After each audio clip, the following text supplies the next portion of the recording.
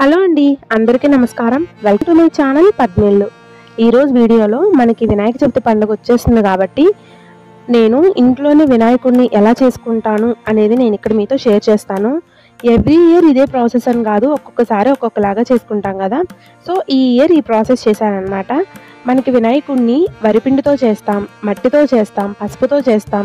పిండి అంటే ఇలాగ గోధుమ పిండి మైదా పిండిలా మనకి టెక్స్చర్ వచ్చేలాగా.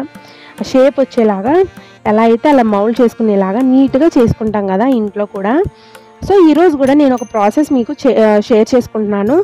మీలో ఎవరికైనా ప్రాసెస్ నచ్చింది అనుకుంటే నా ఛానల్ని లైక్ చేయండి షేర్ చేయండి కామెంట్ చేయండి తప్పకుండా సబ్స్క్రైబ్ కూడా చేసుకోండి. ఓకేనా మరి ప్రాసెస్ ఏంటో చూసేయండి. మా ఇంట్లో నేను చేసిన వినాయకుడు ఎలా వచ్చాడో కూడా కామెంట్ చేయండి. Thank you